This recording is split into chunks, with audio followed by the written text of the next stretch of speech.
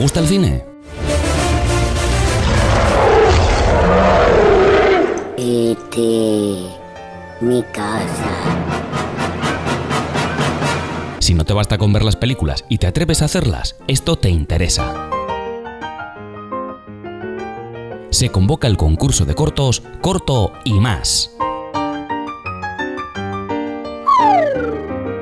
Los cortometrajes deberán tratar sobre valores y actitudes relacionadas con una vida saludable con un planteamiento del mensaje en positivo.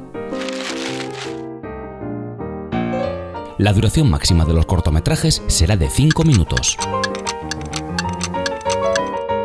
Los cortos podrán estar grabados con cualquier cámara, una cámara antigua, una supermoderna o con un móvil.